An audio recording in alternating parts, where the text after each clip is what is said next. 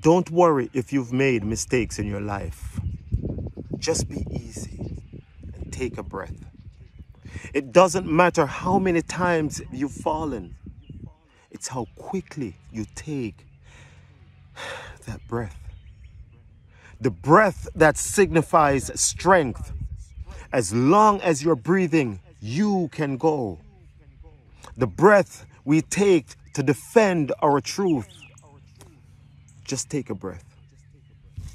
But this time, take it slow.